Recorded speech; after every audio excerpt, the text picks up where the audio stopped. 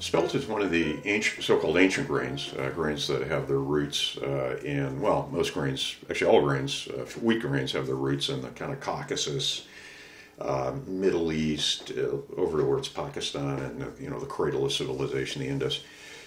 Uh, but it's it's one of the grains that have become uh, have developed renewed popularity, along with things like kamut and einkorn and uh, a couple of others.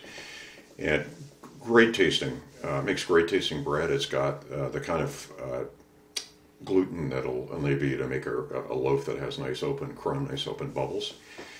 Uh, it was eaten or used extensively in Europe, I think up to the Middle Ages, and then marginally from then on, it's being found in uh, Bronze Age community sites. So it's been used by mankind for a long time, and you it's you can you can get it at specialty uh, baking stores. Uh, there's a number of millers, uh, gr- uh, grain growers, farmers, and millers that uh, both grow it and mill it throughout the U.S. And it's really enjoyable to work with.